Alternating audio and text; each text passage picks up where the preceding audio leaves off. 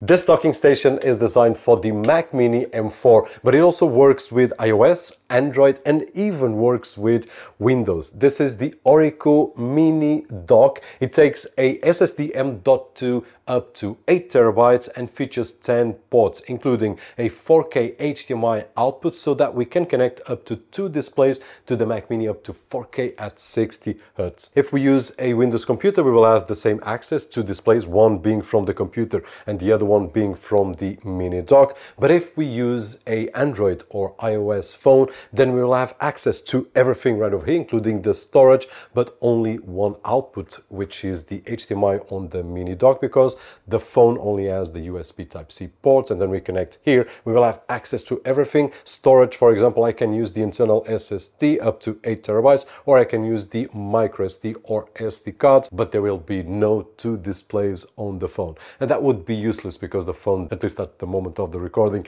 screen extended. Now, here at the front, it has one USB Type-C port 10 gigabit, two USB Type-A ports, one is 10 gigabit and the other one is a 5 gigabit, one SD and micro SD card slots, and then at the back, one USB Type-C with power delivery up to 100 watts so that we can charge any device, one USB Type-C port to connect to our computer, one HDMI port that we can get 4K at 60 Hz, and one gigabit Ethernet port. Now using the Orico mini docking station, we are using two 4K displays at 60 Hz, one of which is connected directly to the Mac Mini, the other one is connected to the docking station. We are going to do a few tests right over here. Let's start with the internal SSD, which I did install inside the Orico docking station. We just need to remove one screw and then place in the M.2 SSD, and that is it. So let's test out the speeds because there's something interesting here. So if we open and start the speed test, we will see that although the maximum capacity or the maximum speed is 10 gigabits or 1000 megabytes per second. We are reaching roughly 1700 megabytes per second on writes and roughly 820 on reads. So we're supposed to have a maximum of 1000 here. We are getting more on the writes and on the reads. I would say that between 800 950 would be the normal number for 10 gigabits.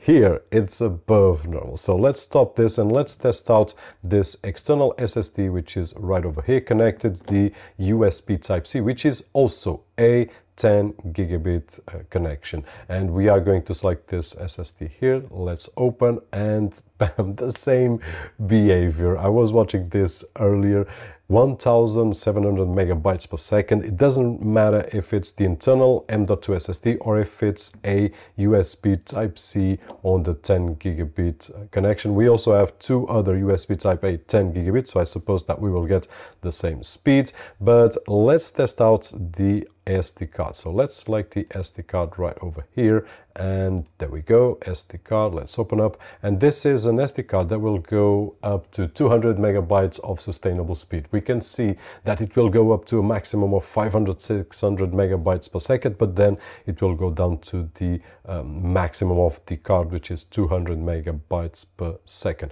Now here it will get lower uh, numbers so this will depend on the card that we are using. We definitely can uh, be above 500 or 600 600 megabytes per second on the docking station, but with the limitations of the card, as we can see right over there, it will lower down. And here, the maximum that the card is capable of doing is 85, 90 megabytes per second reads and on writes. So in terms of connectivity, simple as this, I could place in right over here or above on this shelf, but here I can hide the cables and then I still have a lot of connectivity. We can connect the Ethernet port down at the back. We also have a USB Type-C, one uh, power delivery USB USB Type-C as well, Type A with 10 gigabit speed, and the HDMI which is connected to one of the displays and the other one on the docking station.